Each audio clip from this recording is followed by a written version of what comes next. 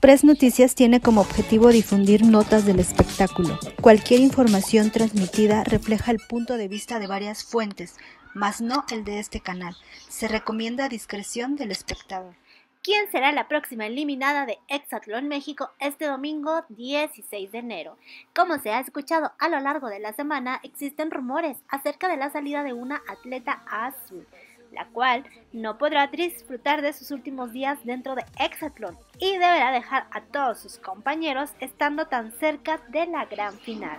Aunque todavía no hay confirmación acerca de cómo se vivirá este último duelo de eliminación de la semana, se cree que esta tendrá un duelo entre Mariana y Paulina, lo cual llevará a la participante azul a tener que abandonar la competencia tras un duelo bastante reñido y con mucha adrenalina. En cuanto a la técnica de ambas atletas, sabemos que tanto Mariana como Paulina han demostrado ser de las más fuertes en su equipo. Sin embargo, tras la salida de Jair, el equipo rojo no puede darse el lujo de quedarse sin más atletas por el momento. Y se menciona que la eliminada será Mariana Cali.